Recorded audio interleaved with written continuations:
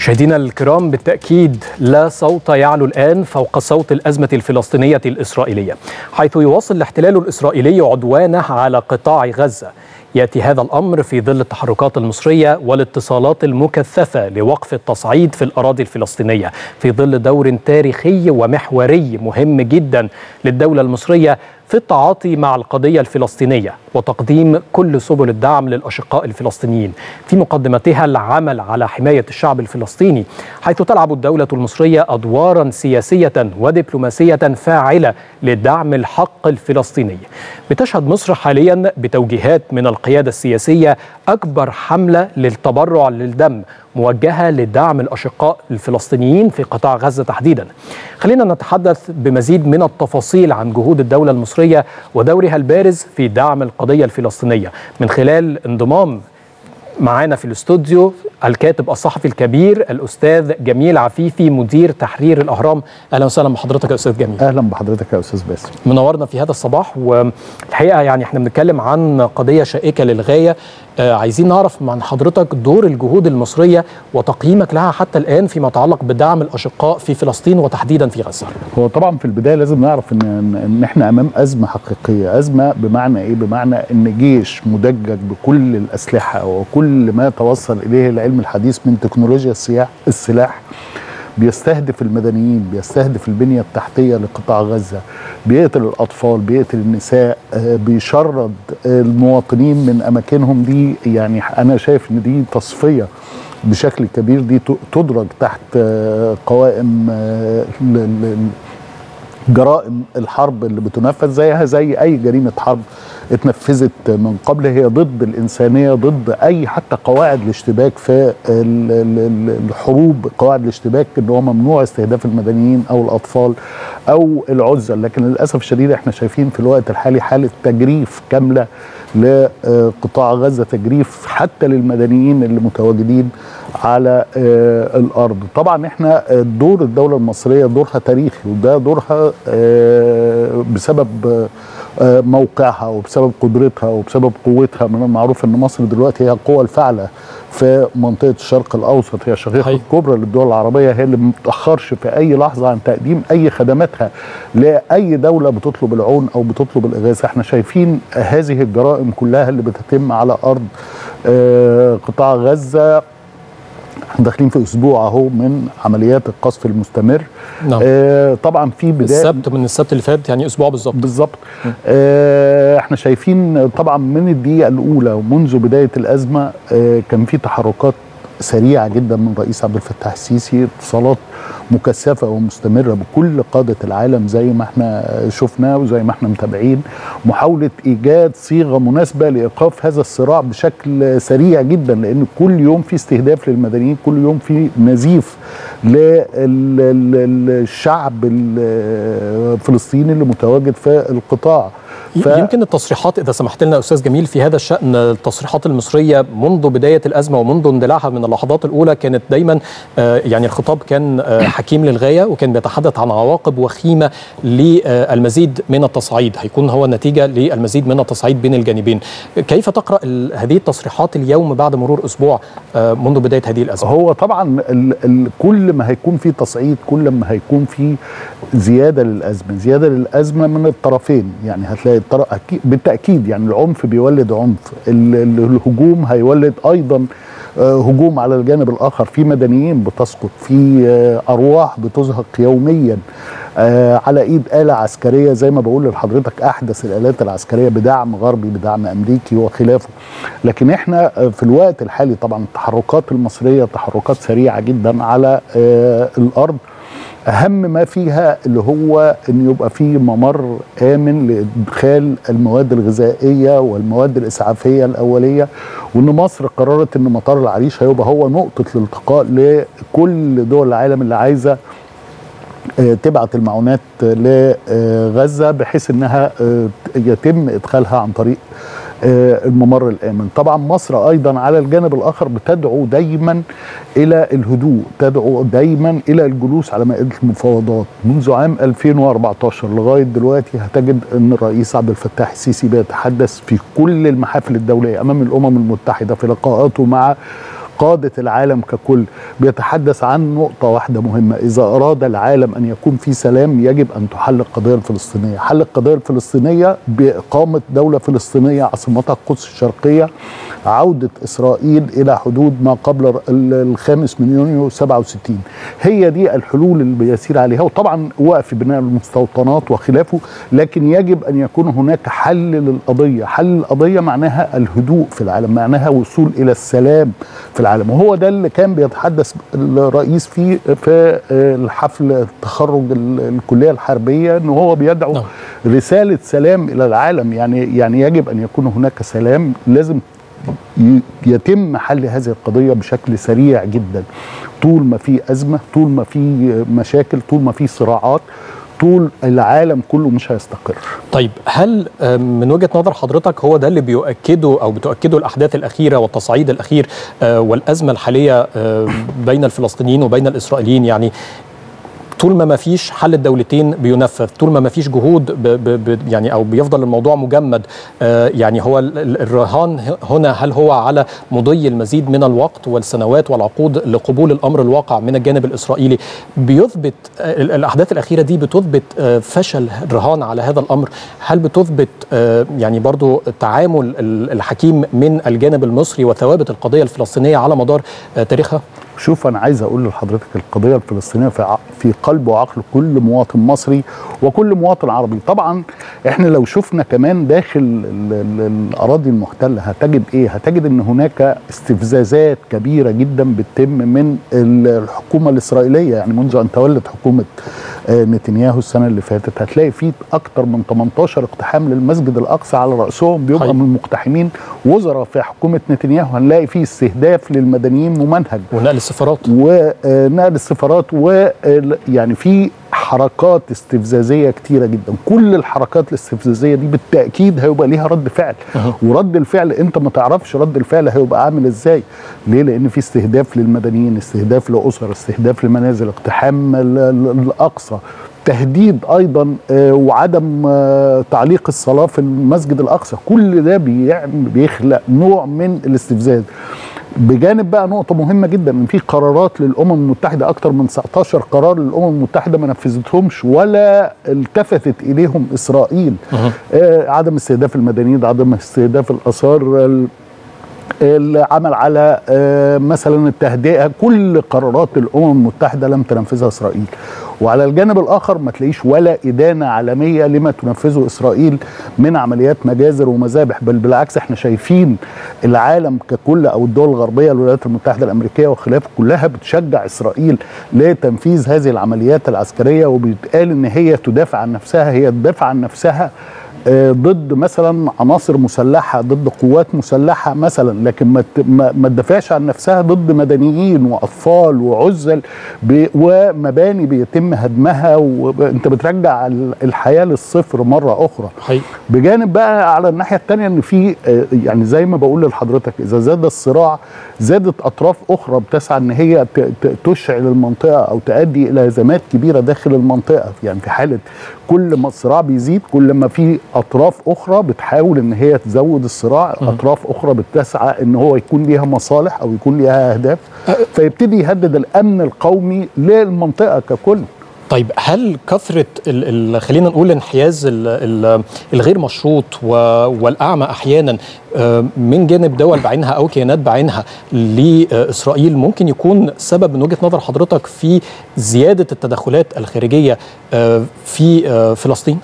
هو طبعا إسرائيل مدعومة طبعا ما إحنا عارفين من الولايات المتحدة الأمريكية ومن الغرب بشكل كبير وهو ده اللي إحنا شفناه حتى في قرارات كتيرة طلعت وتحرك الأسطول السادس الأمريكي وحاملات الطائرات. كل ده طبعا بيدي لإسرائيل ال- الجرأة والقوة إن هي تعمل اللي هي عايزاه إن هي تنفذ أي عملية عسكرية إن هي تقتحم الأقصى إن هي تقتل الأطفال تغتصب النساء تغتصب الأرض أصلا. هي هي دولة محتلة. يعني دولة محتله بس زي ما حضرتك ذكرت يعني كل فعل له رد, رد فعل, فعل وبالتالي بالتأكيد. يعني لما بيكون الخطاب آه، غير آه، خلينا نقول آه، غير محايد آه، وأيضا الدعم غير آه، منطقي أحيانا وغير محايد في الكثير من الأحيان هل هذا الأمر ممكن في حد ذاته يؤدي إلى وجود ردود أفعال خارجية آه، دعما أيضا لفلسطين؟ بالطبع في ردود أفعال خارجية هت- هتدعم الجانب الفلسطيني. وزي ما قلت لحضرتك كل ما هيزيد الصراع كل ما هي- هتطول المدة بتاعة العمليات العسكرية اللي بتنفذ. في أطراف أخرى هتدخل. يعني إحنا شفنا في العديد من الأطراف دلوقتي بتحاول إن هي ترجع الصراع أيضا إلى الصفر وتبتدي إن هي تدعم مثلا الفصائل الفلسطينيه ويبتدي جبهات أخرى تتفتح. كل ده يضر بشكل كبير بالمدنيين وهم بالأرض اللي هيدفعوا. دايماً هو اللي بيدفع. اللي بيدفع الثمن المدنيين في النهاية.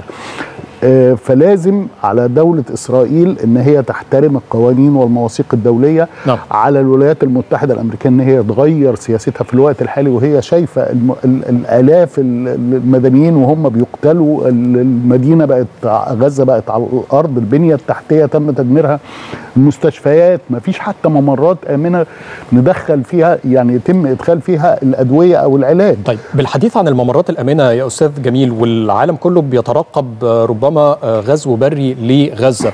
آه، فكرة تصفية القضية الفلسطينية من خلال إجلاء ال- الفلسطينيين من غزة سواء من شمال غزة إلى جنوبها باعتبارها ربما مرحلة أولى أو حتى اجلائهم من غزة تماما. آه، وزي ما ذكر الرئيس عبد الفتاح السيسي هذا الأمر بيمثل تصفية للقضية الفلسطينية. تعليق حضرتك على هذه. هو طبعا ده تصفية للقضية الفلسطينية وده الهدف أصلا وده الأساس إن هو بيسعى في الوقت الحالي إنه يصفي القضية الفلسطينية. يصفيها عن طريق إيه؟ عن طريق إخلاء آه، غزة كلها وخلاص ما يبقاش في قضية فلسطينية ونبتدي نتفاوض مع آه، الحكومة اللي موجودة وخلاص على كده ما فيش قضية فلسطينية. لكن طبعا في الوقت الحالي لازم الأهالي غزة إن هم يبقوا في أماكنهم لأن في يقاوموا بأي طريقة من الطرق. وخلي بال حضرتك محاولة أو أو التفكير إن المواطنين أو أهالي غزة إن هم يخرجوا من أرضهم ده معناهم إن هم سلموا بالقضية يعني رموا الفوطة بالمعنى بتاع نعم. ال- الملاكمة لكن لا طول ما المواطن واقف على أرضه الفلسطيني واقف في قطاع غزة بيقاوم بيطالب بحقوقه بيطالب بمشروعيته في إنه يعيش في سلام إنه يعيش على أرضه اللي تم احتلالها وبيتم دلوقتي قصفها بكل أنواع الصواريخ والأسلحة لازم يقف ويثبت. وبعدين في تحركات سياسية على الجانب الآخر يعني التحركات السياسية من الناحية من من جانب آه، طبعا مصر وشايفين مصر بت بتأدي دورها وزيادة وبتقدم حشد كبير عالمي يعني بتحاول تغير آه، وجهة النظر العالمية فيما يحدث على أرض آه، غزة في نعم. الوقت الحالي دور. كبير جدا بيقوم به الرئيس عبد الفتاح السيسي رغم مكثفة جدا وعدد كبير جدا من الاتصالات آه، مكثف قوي على مدار الأيام الماضية بس ده هيخلينا نسأل حضرتك عن الاختيار اللي نقدر نقول إن هو يعني إسرائيل بتديه للمواطنين في قطاع غزة تحديدا للفلسطينيين في قطاع غزة هو بيدينا كده يعني اللي هو طلبات بالتهجير طلبات بالنزوح طلبات بالتوجه وحتى كانت في البداية صريحة طلبات بالتوجه إلى سيناء تحديدا.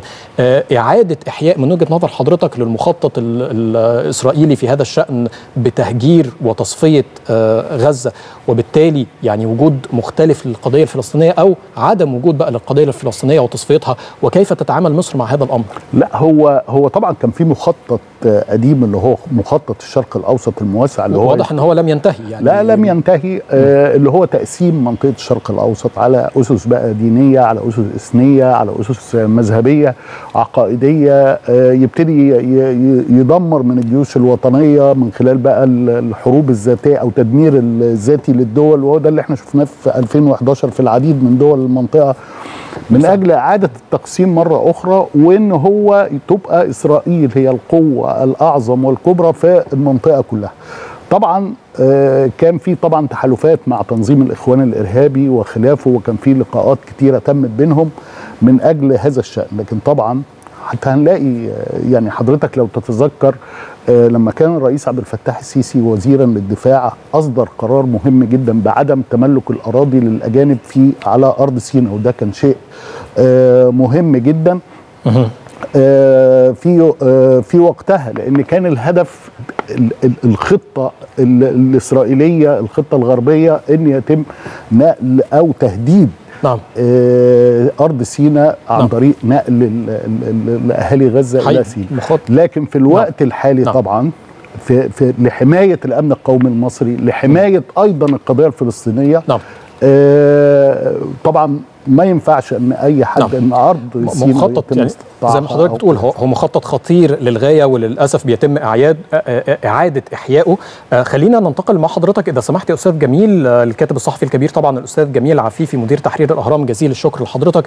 بس اسمح لنا ننتقل مع المشاهدين آه، إلى هذه الجلسة. جلسة القضية الفلسطينية التي ستظل قضيتنا الأولى والمركزية التي توحد العرب جميعا توحد العرب جميعا. مطالبين المجتمع الدولي بالتدخل الفوري والحاسم لوقف حرب الإبادة الجماعية التي تقوم بها سلطات الاحتلال ورفع الحصار الجائر عن قطاع غزة والسماح بإدخال المساعدات الطبية والغذائية فورا إلى القطاع. ولا شك أن التضحيات التي يقدمها أبناء الشعب الفلسطيني في مواجهة عنف وغطرسه آلة الحرب القاشمة لقوة الاحت... لقوه للقوة القائمة بالاحتلال. يثبت للعالم مجددا أن عزيمة وإرادة صاحب الحق لن تنكسر ابدا وأن سياسات القتل والتدمير والتهجير لن تنجح في اخضاع الشعب الفلسطيني وانما ستزيد اصرارا في الدفاع عن حقوقه المشروعة. وهنا أتوجه باسمكم جميعا بتحية إجلال وأكبار إلى أخواننا في دولة فلسطين. الذين يخوضون معركة وجود دفاعا عن هويتهم وأرضهم ومقدساتهم. الحضور الكريم على الصعيد الأزمات القائمة في المنطقة العربي في منطقتنا العربية فإن البرلمان العربي يدعم بكل قوة كافة المساعي العربية والدولية التي تهدف إلى جا- إيجاد حل سياسي نهائي وشامل للأزمة اليمنية بما يحافظ على وحدة اليمن وسيادته. ويدين في الوقت ذاته استمرار ميليشيا ميليشيا الحوثي في انتهاكاتها وجرائمها التي تعرقل جهود تحقيق السلام. في وفي إطار التطورات التي تشهدها دولة ليبيا. ندعو اشقاء اشقائنا الليبيين إلى إعلاء المصلحة الوطنية العليا للشعب الليبي. والمضي قدما نحو إجراء الانتخابات البرلمانية والرئاسية واستكمال الاستحقاقات التي تقود إلى تحقيق الأمن والاستقرار في كافة أنحاء البلاد. وفي جمهورية السودان الشقيقة وبعد مرور نحو ستة أشهر على الأزمة القائمة فان فإن نؤكد على ضرورة أن يكون للدول العربية دور أكبر في حل هذه الأزمة الخطيرة. بما يحافظ على وحدة التراب السوداني ووحده الجيش السوداني ومقدرات شعبه العزيز. مثمنين المساعدات التي تقدمها العديد من الدول العربية لاشقائنا في السودان. ونطالب المؤسسات الدولية بسرعة تقديم المساعدة الصحية والغذائية اللازمة لت- للتخفيف من معاناة الشعب السوداني. لا سيما بعد أن قارب النظام الصحي في السودان على الانهيار بسبب طول أمد الأزمة الحالية. الحضور الكريم. تعرضت بعض الدول العربية خلال الفترة الأخيرة لكوارث طبيعية راح ضحيتها المئات من الأفراد. وفي هذا السياق نعزي باسمكم جميعا المملكة المغربية قيادة وشعبا. في ضحايا الزلزال المدمر الذي ضرب عددا من الأقاليم والمدن المغربية وأسفر عن سقوط مئات الضحايا. كما نعزي دولة ليبيا قيادة وشعبا في ضحايا الفيضانات الكارثية التي شهدتها مؤخرا والتي أدت إلى آلاف الضحايا. ونعزي كذلك جمهورية العراق قيادة وشعبا في ضحايا حادث الحريق الذي أسفر عن سقوط مئات الضحايا. وبالطبع نعزي شعبنا الفلسطيني وأمتنا العربية في الشهداء الذين سقطوا من بداية العدوان الغاشم الذي شنت تشنه سلطات الاحتلال على قطاع غزة. ولا يفتنا أن نعزي مملكة البحرين قيادة وشعبا في شهداء الواجب خلال تأديتهم دورهم الوطني المقدس ضمن قوات التحالف العربي المشارك في اليمن. واسمحوا لي أن نقف دقيقة حتى على أرواح كل هؤلاء الضحايا الذين فقدناهم مؤخرا.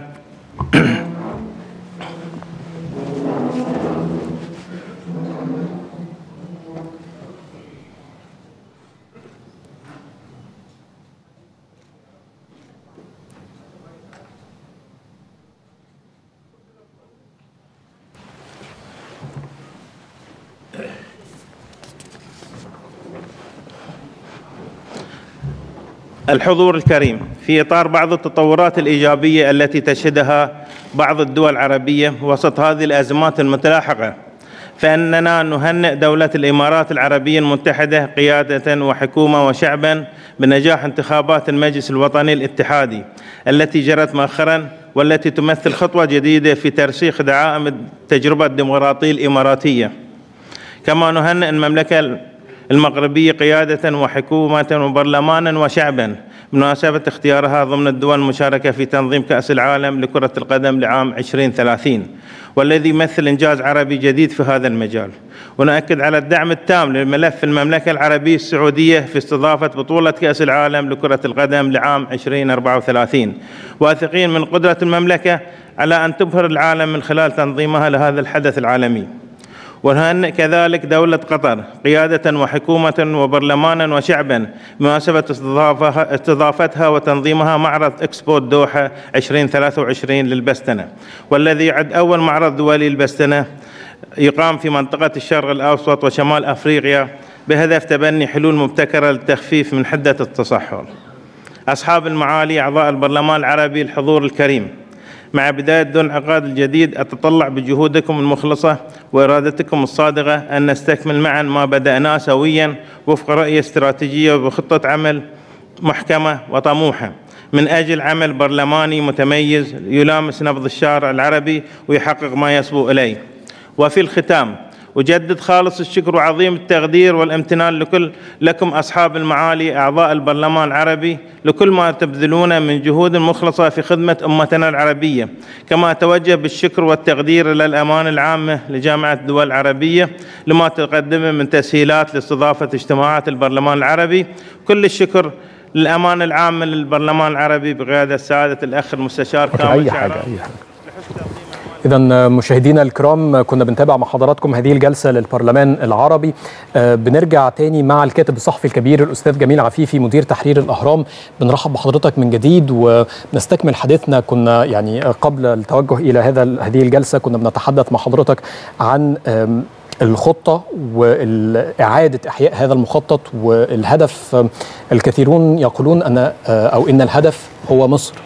آه، تعليق حضرتك على النقطة دي. هو طبعا الهدف آه، هو مصر. يعني يعني مصر في الوقت الحالي لازم نبقى عارفين إن مصر هي قوة الفعل في منطقة الشرق الأوسط. مصر استطاعت إن هي آه، تحقق تنمية مستدامة فيها. مصر قدرت إن تكون الجيش الوحيد ال- القوي الصامد القادر على بالظبط. ال- ال- لا قدرت. إن هي تواجه ما يسمى بالربيع العربي وقدر إن عندها جيش قوي قدر إن هو يحافظ على حدود الدولة.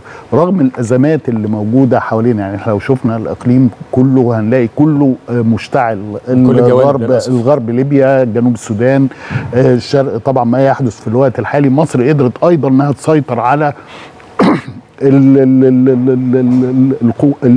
التنظيمات الإرهابية وتقدر تقضي على الإرهاب. وكان الإرهاب ده الخطة البديلة بعد فشل آه، ما يسمى بالربيع العربي. اذا مصر هي الدولة القوية القادرة اللي هي واقفة أمام كل مشروعات لتقسيم المنطقة. مصر هي الدولة الوحيدة اللي واقفة أمام كل الأطماع آه، الخارجية. لهذا السبب هنجد إن الهدف في الوقت الحالي إن كل ده بيصل إلى إن مصر محطوطة هدف أمام آه، المخططات الغربية وأمام المخططات طبعا.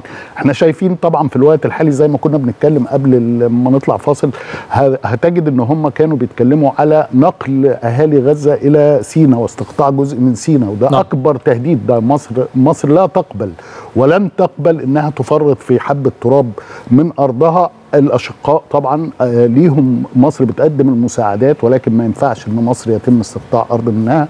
مصر طيب. ال- الأرض سينا دي آه، في آه، مئات الآلاف ضحوا بدمائهم في سبيل طبعا تحرير الأرض ودلوقتي في التنمية الشاملة.